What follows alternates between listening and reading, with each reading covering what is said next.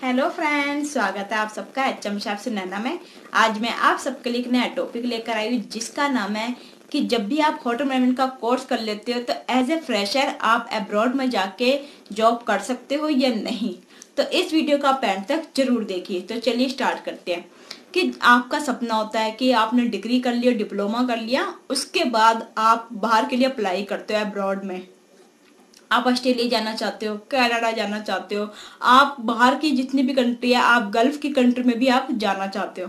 तो आप क्या, आपको क्या वहाँ पर एज ए फ्रेशर के उस पर आपको जॉब पे रखते हैं या नहीं? तो यही मैं सब आपको बताऊँगी। तो आपको मैं स्टेप बाय स्टेप बताती हूँ। तो चलिए, सबसे पहली बात है कि जब भी आप होटल मैनेजमेंट की डिग्री कंप्लीट कर लेते हो और आप या फिर डिप्लोमा आप करते हो और फिर आप अप्लाई करते हो बाहर के लिए तो काफ़ी कम अपॉर्चुनिटी है आपकी जॉब के। और आपको काफ़ी कम अपॉर्चुनिटी मिलती है। मान लीजिए, अगर आप कैसे ना कैसे करके बाहर चले भी गए तो आपकी जो है ग्रोथ जल्दी से बढ़ती ही नहीं है। अपॉर्चुनिटी नहीं मिलेगी आपको। वो क्यों? क्योंकि आपसे ज़्यादा, आपके स्किल्स से भी ज़्यादा, वहाँ के जो लोग हैं, वो ज़्यादा स्किल बेस्ड पर है। मीन्स उनके पास काफ़ी एक्सपीरियंस है उनकी लैंग्वेज का। फ़र्स्ट फ़र्स्ट जो पॉइंट आता है, उनकी लैंग्वेज पे आता है। क्योंकि आप इंडियन हो और आपको वहाँ की लैंग्वेज काफ़ी कम समझ में आएगी। और उसके लिए पहले आपको आइल्स भी करनी पड़ेगी, अगर आप एज ए फ्रेशर जा रहे हो। बात करते हैं गल्फ कंट्री में। गल्फ कंट्री में आपको जो है, आपको आइल्स नहीं करनी पड़ेगी बट जब भी आपको इफ़ेक्ट पड़ेगा, क्योंकि आप एज ए फ्रेशर जा रहे हो, आपको कोई एक्सपीरियंस ही नहीं है। अगर वही बात करते हैं, आप एक्सपीरियंस बेस पर जाते हो तो आपको जो है जॉब भी मिल जाती है जल्द से, और आपको जो है अपॉर्चुनिटी वहाँ पर मिलती है। अगर आप एज ए फ्रेशर जाते हो तो आपको जल्दी से अपॉर्चुनिटी भी नहीं मिलती और जॉब भी आपको काफ़ी कम मिलती है। आपने सोच लिया कि मैं जा रहा हूँ, मैंने अपना वीज़ा लगवा लिया और मैंने अपनी एड्स क्लियर कर ली, अब मैं जा सकता हूँ वहाँ पे मैं अप्लाई कर सकता हूँ। और मैं जो जो है कर सकता हूँ। अगर आप एज ए फ्रेशर है आपका कोई एक्सपीरियंस ही नहीं, आपको पता ही नहीं है तो वो आपको नहीं रखेंगे। अगर आप किसी के थ्रू या किसी की जान, जानकारी के लिए, के, जानकारी के उससे आप जा रहे हो और आपको किसी ने लगवा दिया, मान लीजिए वहाँ का जो मैनेजर है, बाद में उसको पता चला कि इसका कोई एक्सपीरियंस ही नहीं है, इसको तो समझाना पड़ रहा है हर बार, इसको काम ही नहीं करना आ रहा। और वहाँ के जो इतने स्टिक होते हैं ना कि आपसे एक बार आपको बोल दिया, बस वो खुद ही आपको करना होता है।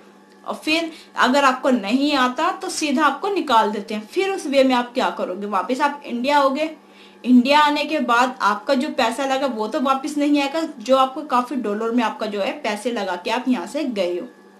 तो इससे बेटर यही है कि जब भी आपको बाहर अब्रॉड जाने का आप प्लान करते हो कि मुझे जो है मैंने डिग्री डिप्लोमा मैंने इंडिया में करा है और मैं बाहर जो है अब्रॉड में जाके जॉब करना चाहता हूँ, या चाहती हूँ। तो आपको क्या करना पड़ेगा कि आपको एक साल का, कम से कम एक साल का एक्सपीरियंस इंडिया के किसी भी फाइव स्टार होटल में लीजिए। उसके बाद आप बाहर के लिए अप्लाई कर दीजिए। तो तो फिर आपको ज़्यादा बेनिफिट भी है, काफ़ी अपॉर्चुनिटी भी मिलती है। और अगर आप जा रहे हो तो आपका एक्सपीरियंस होता है। आप बोल सकते हो कि मैंने फाइव स्टार होटल में इंडिया में यहाँ पर जॉब कर रखी है।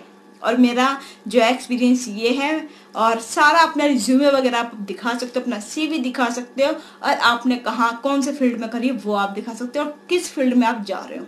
फिर आपको बेनिफिट मिलता है। अगर आप सीधा फ्रेशर जा रहे हो फॉर एग्ज़ाम्पल मैं आपको बताती हूँ, आपका एक रेस्टोरेंट है। आपका रेस्टोरेंट है आप चला रहे हो आपके पास एज ए फ्रेशर आया था और मैं आपसे बोलती हूँ कि मुझे आप जॉब दे दीजिए और मैं आपसे पहले सीखूँगी कि मुझे पहले सिखाइए कि करना क्या है। क्योंकि इंडिया के जो रूल होते हैं वो अलग होते हैं और बाहर के रूल्स जो है अलग होते हैं। अगर आपने इंडिया में काम कर लिया कुछ तो आ, उसमें मिलता है सेम मिलेगा बट ये नहीं कि पूरा भी मिले। अगर आपको एक्सपीरियंस ही नहीं है इंडिया में, आपने जॉब ही नहीं करी, आपको पता ही नहीं है कि इंडिया में किस तरह से जॉब होती है सर्विस किस तरह से होती है, क्या है, क्या रूल है? रूल रेगुलेशन नहीं आपको पता है इंडिया के। तो आप जो है, वहाँ पर कैसे करोगे? अगर आपको फाइव स्टार होटल के रूल एंड रेगुलेशन आपको पता चल गए, उनकी रिस्पॉन्सिबिलिटीज आपको पता चल गई, आप वहाँ पर ड्यूटीज़ कैसी होती है, ये सारा कुछ आपको पता चल गया तो फिर आप जो है आसानी से जो है बारह अब्रॉड में कर सकते हो।